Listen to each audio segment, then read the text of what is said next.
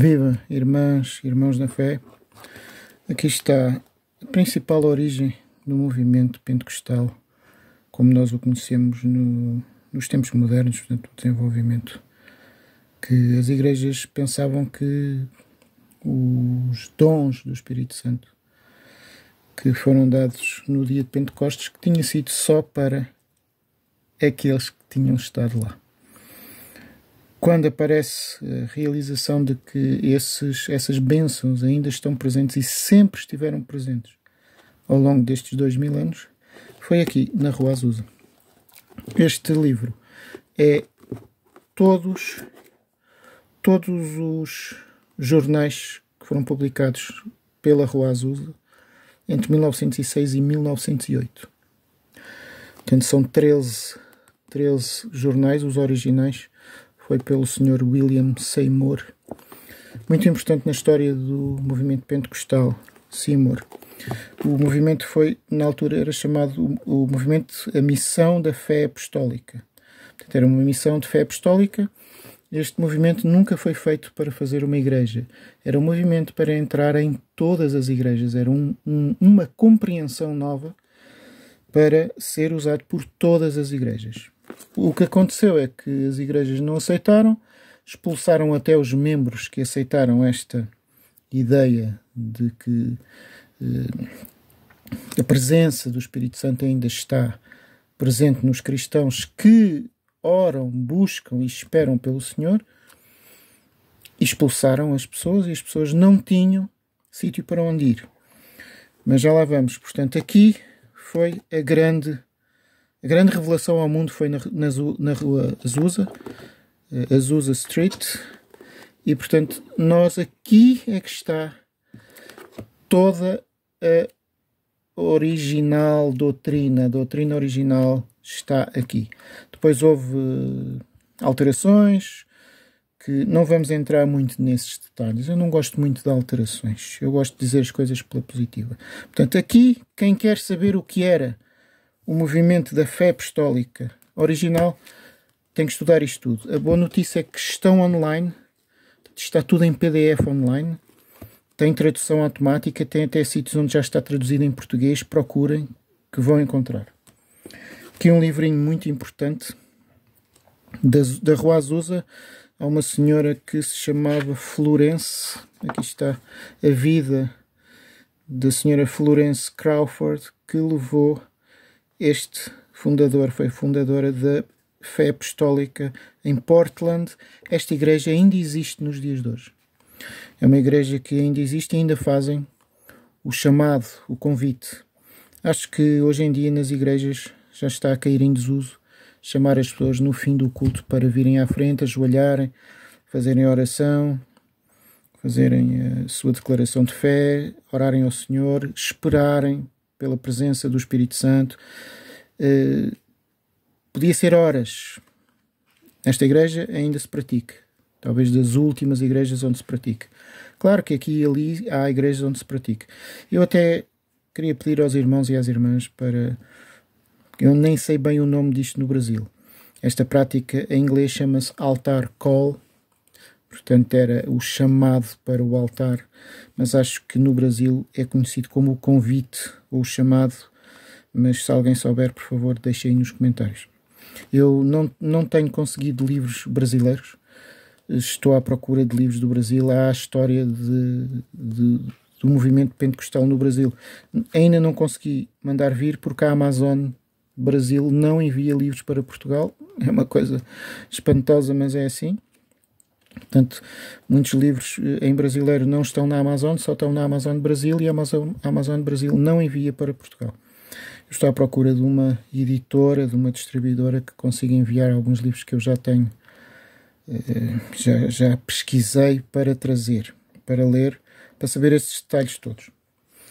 Antes, portanto, esta senhora esteve aqui na Rua Azusa, vai para Portland, a Rua Azusa foi em Los Angeles. Esta senhora saiu, foi para Portland, fundou uma igreja. Já disse, a ideia original não era uma igreja, mas a senhora fundou a igreja e a igreja mantém-se até os dias de hoje. Acho que é a única. O que é que temos antes da Rua Azusa. Eu comecei pela Rua Azusa porque é o mais importante. Antes da Rua Azusa temos Parham, Parham o, o, o fundador do movimento apostólico, portanto, o movimento da fé apostólica. Foi o Sr. Parham. Este livro foi escrito pela esposa, Sarah Parham. Eh, muito interessantes os exemplos de tudo o que aconteceu. Se alguém quer saber o que é a doutrina original, está aqui, está na Rua Azusa. Aqui este pequenino tem umas coisas, é muito pequenino, mas mesmo assim é importante. Para mim o mais importante de todos é o Azusa, em termos de explicar bem como é que as coisas se processavam no início a nível prático, é este. Mas os fundamentos estão neste. Portanto, por ordem, Azusa, Topica, isto foi na cidade de Topica, Portland. Temos aqui, antes, temos inevitavelmente John Wesley. Aqui são os sermões completos. Eu tenho os sermões completos, não li todos, claro. Só li alguns dos mais importantes e partes de outros, mas isto é um livro para se ler uma vida inteira. Uma vida inteira. Portanto, tudo isto vem de raízes. As raízes vêm daqui.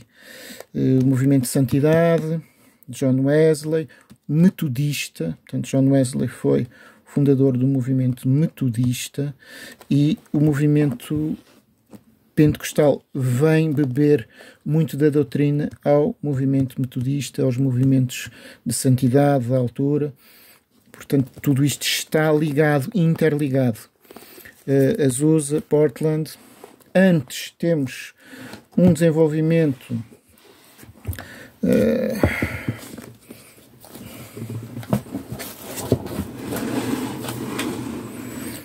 um desenvolvimento muito importante e pouco conhecido.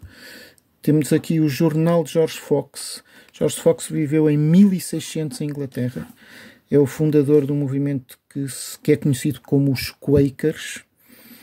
Os Quakers porque eles tremiam, eles recebiam a presença do Espírito Santo e começavam a tremer e as pessoas ridicularizavam-nos e chamavam-lhes de qualquer coisa de como tremedores, eh, portanto, fazia um pouco deles, mas na verdade, quando a presença do Espírito Santo começa a entrar, o corpo não aguenta. E como não aguenta, há algum tremor, sim. Claro que se for muito violento, isso já é anormal. Mas há uma, o que eu costumo dizer, um, trem, um tremer por dentro. É um tremer por dentro. E, portanto, este senhor fundou a Sociedade dos Amigos. O movimento chama-se a Sociedade dos Amigos, conhecidos como Quakers. Viveu em 1600, uh, em Inglaterra. Portanto, este livro foi publicado em Inglaterra. É da Oxford. Da Oxford? Não, este, este livro não é da Oxford. Este livro é da Cambridge, Cambridge, Cambridge, não é Oxford, é Cambridge, uh, exatamente, Cambridge, foi publicado em 1952, mas é uma tradução já em inglês moderno do inglês de 1600. Eh, é lindíssimo. Esperavam muito em silêncio perante o Senhor. Tinham muita, muita presença espiritual do Espírito Santo. É muito interessante que aqui, nestes jornais, Seymour relatou que uma das origens do movimento é precisamente os Quakers. E aqui também é muito interessante que esta senhora Sarah Parham, os pais de Sarah Parham eram Quakers, portanto eram do movimento Quaker. O movimento Quaker nos Estados Unidos foi muito importante, publicaram muitos livros, foram primeiro, a primeira igreja a ter completa igualdade entre mulheres, homens, crianças, idosos, e, e de qualquer uh, etnia, portanto, foi a Sociedade dos Amigos que fez uma luta tremenda pela liberdade e os direitos e igualdade do ser humano. Isto é um contributo absolutamente extraordinário. E, portanto, isto está dentro do movimento pentecostal, apesar de muito poucas pessoas sabem disto.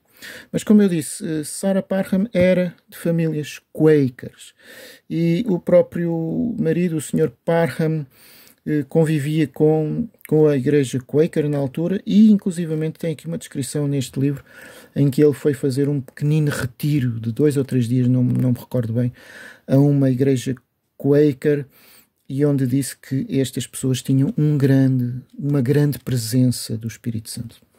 Portanto, é preciso saber o que está aqui a doutrina Quaker, a antiga, porque agora há já umas, uns desenvolvimentos modernos. Cuidado com os desenvolvimentos modernos, eh, temos que ir às origens, sempre às origens.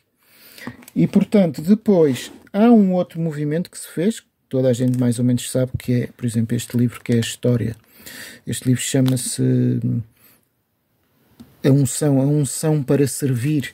Este livro é um livro sobre a história das Assembleias de Deus, volume número 1, publicado nos Estados Unidos também, não sei bem quando, mas por aí 1930 e tal, qualquer coisa assim. Uh, um livro muito importante, tem a história toda do movimento pentecostal, um resumo, claro, eu também estou a dar um resumo mais ou menos. Uh, um livro muito importante o que aconteceu com, com, com o movimento. Aqui, Parham, como já disse, era um movimento para entrar em todas as igrejas, não era uma igreja. Portanto, o movimento da fé apostólica não era para ser uma igreja. O que acontece é que quando as pessoas das igrejas aceitavam esta ideia de que a presença e as bênçãos e, e, portanto, e as graças do Espírito Santo estão presentes para todos aqueles que oram, que esperam, que, que, que fazem a vontade do Senhor, que anulam o seu intelecto e que se põem à disposição em humildade perante o Senhor, o Espírito Santo vem e enche. O que acontece é que as igrejas expulsavam essas pessoas. Portanto, foram expulsos, e como foram expulsos, havia muitos expulsos, muitos, muitos, muitos, e juntaram-se todos e fizeram as Assembleias de Deus. As Assembleias de Deus, na altura, também não era bem, bem, bem o que é hoje, não era para ser uma igreja, era para ser Assembleias. Aliás, a, a própria ideia está aqui. Parham fala que poderia haver Assembleias de pessoas com esta, com esta, esta, esta nova noção da presença do Espírito Santo e que se poderiam juntar. Foi depois aproveitado aqui para fazer as Assembleias de Deus, que depois se fez mesmo em igreja, com vários outros desenvolvimentos que vieram a seguir, com outro senhor chamado Durham, se não estou em erro, que trouxe uma, uma espécie de uma dissidência ou uma nova uma nova compreensão que acrescentou e é o que ainda hoje é, é seguido pelas Assembleias de Deus. Portanto, há, há pequenas diferenças, devem saber isto, há pequenas diferenças em todos estes movimentos. Uh, para mim, as diferenças não são importantes. O que é importante é as práticas que faziam e que agora deixaram de fazer. Eh, por exemplo, o chamado, como eu disse, o chamado, o convite no fim dos cultos, já muito poucas igrejas fazem, ou se fazem, fazem uns minutos. Aqui há descrições na Rua Azusa de que quando era o chamado para a oração final no altar, eh, se fosse à meia-noite, acabava às quatro, cinco, seis da manhã ou sete da manhã.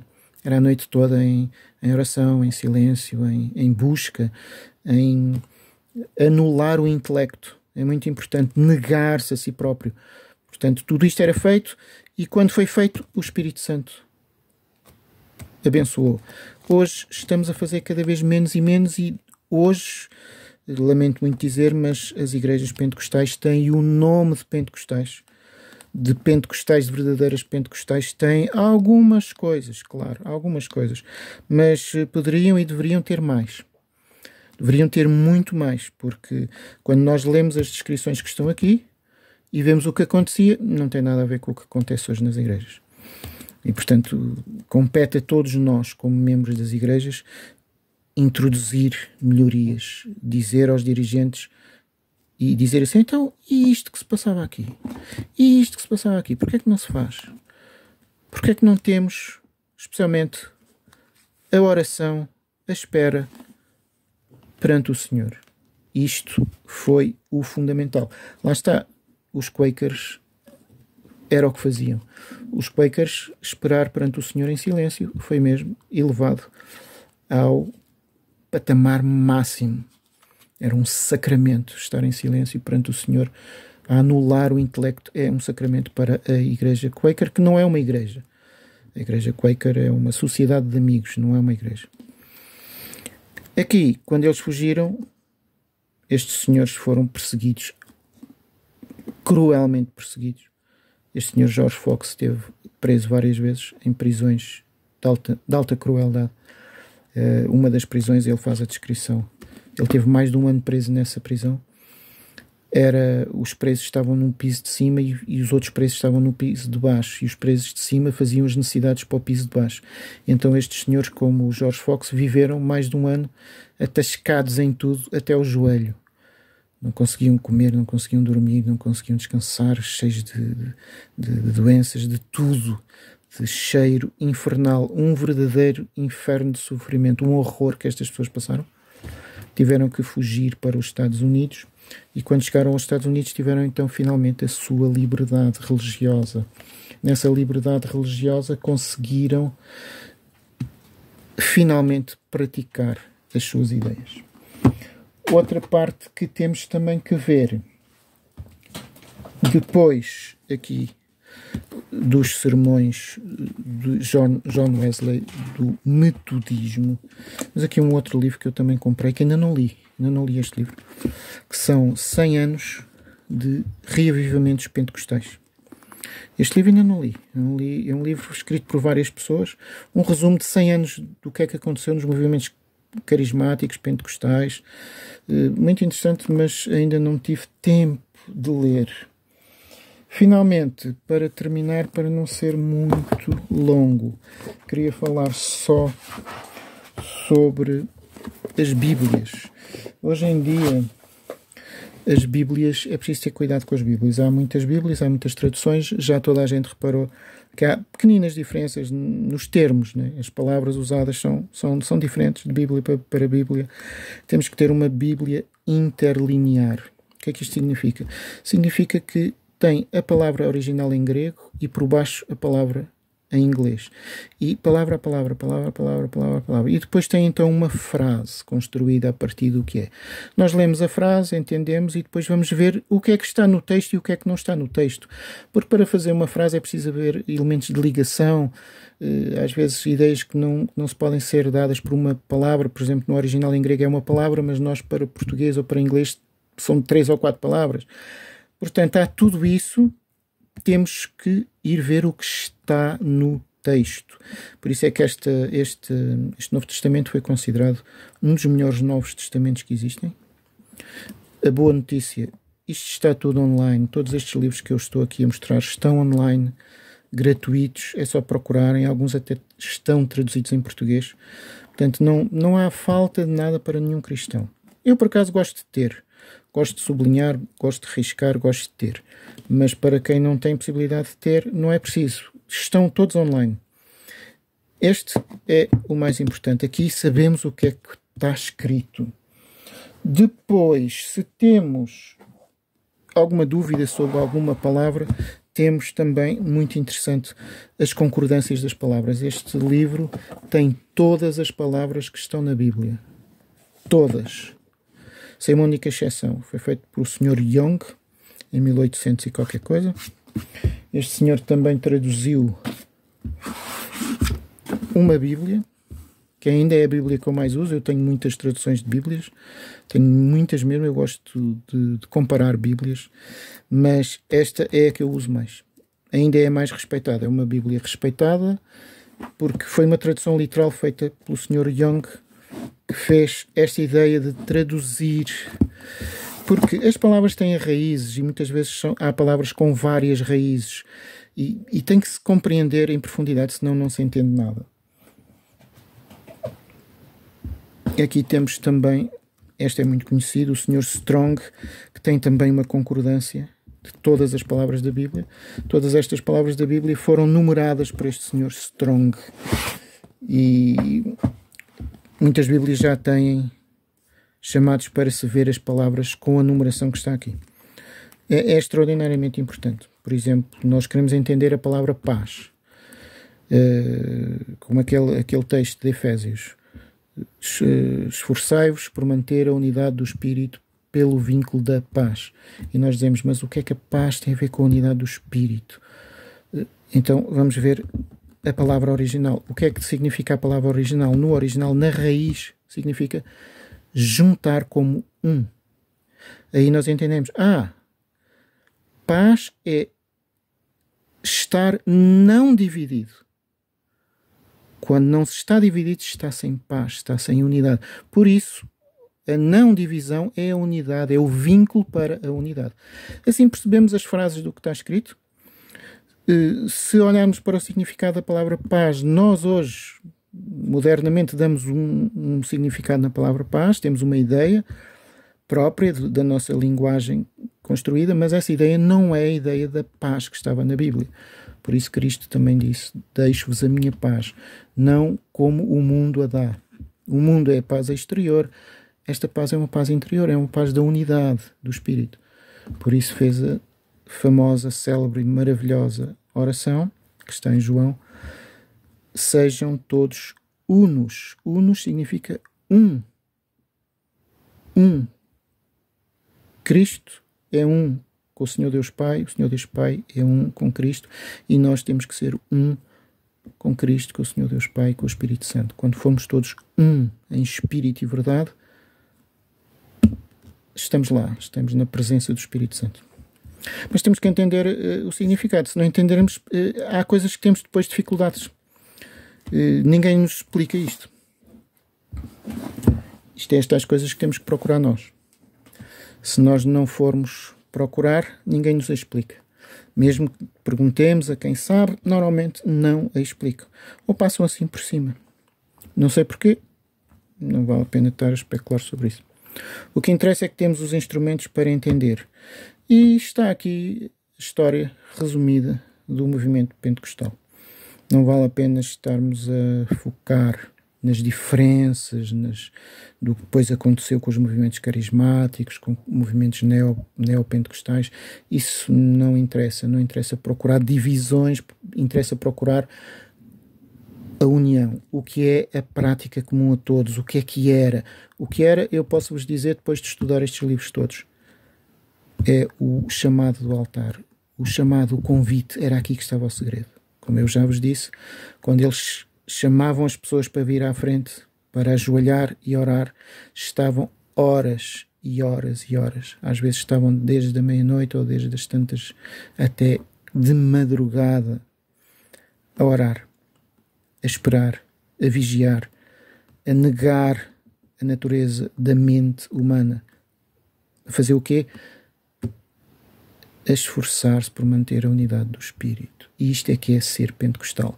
Depois o Espírito Santo vem e começa a dar as suas bênçãos. Mas isso depois já é uma história mais avançada. A nossa parte é o básico. Qual é o básico? Orar, buscar, esperar, vigiar, negar a vontade humana, fazer a vontade do Pai. Qual é a vontade do Pai? Está resumido por Cristo: amar a Deus sobre todas as coisas as coisas. As coisas são as distrações do mundo. Passar por cima das distrações do mundo. Como? Com a paz, deixo-vos a minha paz. A paz de Deus que está acima dos pensamentos. Porquê? Porque os pensamentos é que nos levam para as coisas do mundo. Isto, esforçar-nos por isto, é que é ser pentecostal. É só isto.